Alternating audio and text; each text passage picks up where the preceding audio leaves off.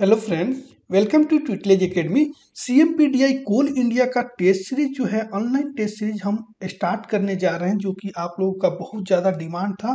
Message आ रहे थे comments आ रहे थे। तो assistant driller training mechanical engineering का सिर्फ़ एक टेस्ट सीरीज़ रहेगा। टेक्निकल प्लस नॉन टेक्निकल दोनों रहेगा। तो आप ट्विटलेज एकेडमी के एप्लीकेशन अगर डाउनलोड नहीं किए होंगे तो प्ले स्टोर या एप्पल स्टोर से डाउनलोड कर सकते हैं। ये हमारे ट्विटलेज एकेडमी के एप्लीकेशन पे ही ऑनलाइन टेस्ट सीरीज़ होने वाला है। और कोर्स से रिलेटेड कोई भी क्वेरी हो तो आप इस नंबर पर कॉल कर सकते हैं या फिर व्हाट्सअप कर सकते हैं।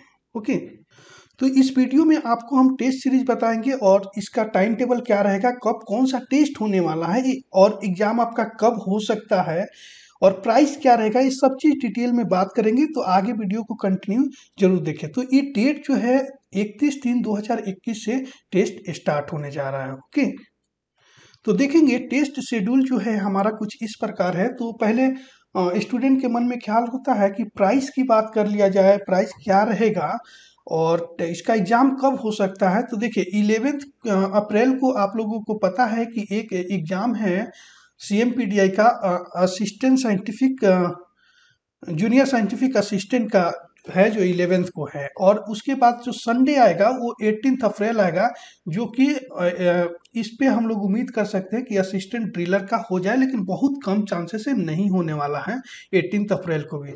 और उसके बाद ट्वेंटी फोर्थ अप्रैल संडे है, उसमें भी एक सी का test sorry test course test exam जो है, वो एक डेट आया है जो री एग्ज़ाम होने वाला है दूसरे किसी पोस्ट के लिए। तो इस दिन भी नहीं हो सकता। तो इसके बाद का जो संडे आएगा, मे फ़र्स्ट वीक में आपका एग्ज़ाम हो सकता है। मतलब ज़्यादा चांसेस हैं। बट हम इसके एटीन अप्रैल को ही चांसेस लेकर चलेंगे और इस हिसाब से ही प्रिपरेशन आप लोगों को करवाने वाला हूँ। ठीक है? तो इस तरह से तो हमारा टेस्ट रहेगा जो कि एटीन से पहले कंप्लीट हो जाएगा और डेली एक सब्जेक्ट पे टेस्ट होगा। ओके? तो अब प्राइस की बात कर रहे हैं तो इस टेस्ट सीरीज़ का प्राइस एकदम नॉमिनल अमाउंट रखा गया है, जो कि 249 इसकी प्राइस है और टेस्ट स्टार्ट होने तक, जैसे थर्टी फ़र्स्ट मार्च को टेस्ट स्टार्ट हो रहा तो थर्टी फ़र्स्ट मार्च तक इसका जो प्राइस रहेगा सिर्फ़ वन नाइन्टी नाइन रहेगा। तो जल्दी से एप्लीकेशन डाउनलोड नहीं किए होंगे तो डाउनलोड कीजिए और डाउनलोड कर लिए होंगे तो आप जल्दी से टेस्ट सीरीज़ को ज्वाइन कीजिए और इतना टेस्ट दे सकते हैं और इसमें टोटल जो है पंद्रह टेस्ट रहेगा। तो टेस्ट कुछ इस प्रकार से रहेगा, इकतीस तारीख को इंजीनियरिंग मैकेनिक्स रहेगा और टॉपिक वाइज जो टेस्ट रहेगा वो फोर्टी क्वेश्चन रहेगा सभी टॉपिक से ओके तो यहाँ देखेंगे दो त, दो जगह टेस्ट होगा एक ऑनलाइन टेस्ट सीरीज़ आपके बैच में बनेगा जैसे आप टेस्ट सीरीज़ ज्वाइन करते हैं तो आपको एक बैच भी बनेगा आपका। उस बैच में आप 24 आवर के अंदर टेस्ट देंगे। एक ही टाइम पे सभी स्टूडेंट टेस्ट देंगे तो रैंक आएगा, उसमें एक्चुअल रैंक पता चलेगा। तो आपको कोशिश ये करना है कि यहीं पे टेस्ट देना है बैच में पहले।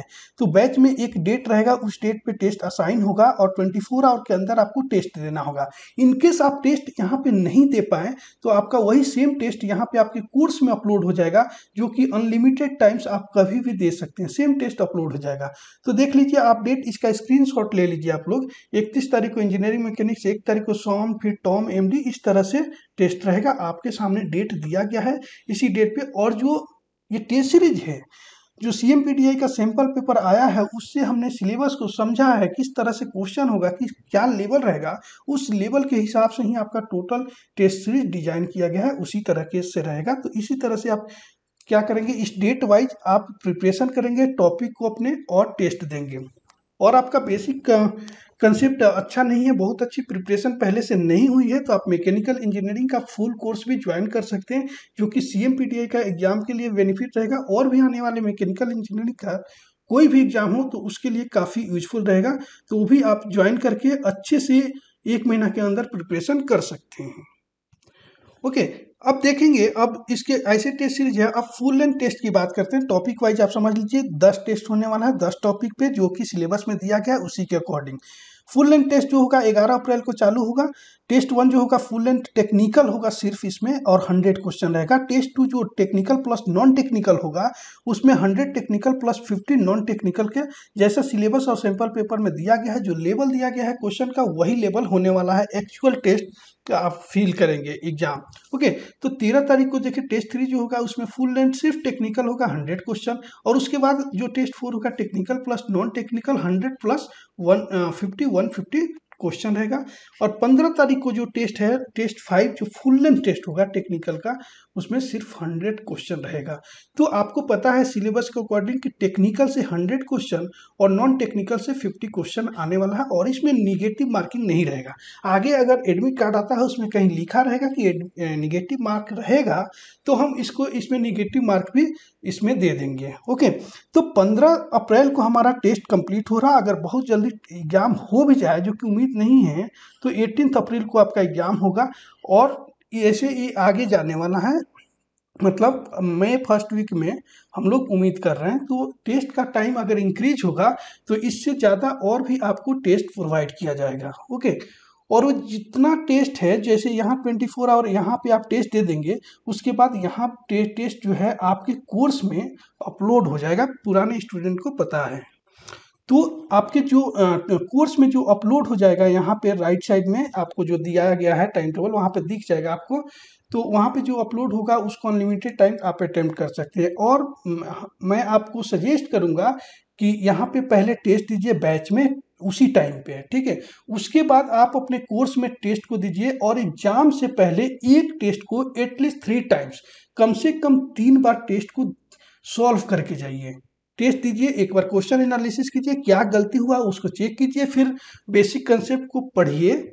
और उसके बाद फिर से री रीअटेम्प्ट कीजिए क्वेश्चन को फिर से मतलब सॉल्व कीजिए उस टेस्ट को। तो तीन बार कम से कम, अगर आपके पास टाइम है तो एक टेस्ट को आपको पाँच पाँच बार सॉल्व हो जाना चाहिए। एक एक क्वेश्चन का आंसर जो है, वो आपको समझना भी है और जो ना समझे उसको याद भी हो जाना चाहिए ताकि वो क्वेश्चन आए, उस टाइप से क्वेश्चन आए तो आप बहुत आसानी से अटेम्प्ट कर सकते हैं। आप अपने एग्ज़ाम में इस तरह से आप एग्ज़ाम को क्रैक कर सकते हैं। बहुत अच्छे तरीके से ओके तो आप लोग यहाँ पे देख लिए कि डेली टेस्ट होने वाला है इकतीस मार्च से। तो आप लोग टेस्ट के लिए प्रिपेयर हो जाइए और जल्दी से जल्दी अप्लीकेशन डाउनलोड नहीं किए होंगे डाउनलोड कर लीजिए और टेस्ट ज्वाइन करके आप टेस्ट देना स्टार्ट कर दीजिए। जितना भी प्रिपरेशन हुआ है, ये सोचना नहीं है कि फुल प्रिपरेशन हो जाने के बाद ही टेस्ट देंगे। फुल प्रिपरेशन किसी का कभी भी नहीं होता है। टेस्ट देते रहिए प्रिपरेशन करते रहिए तो ही जाकर आपका प्रिपरेशन हो पाएगा।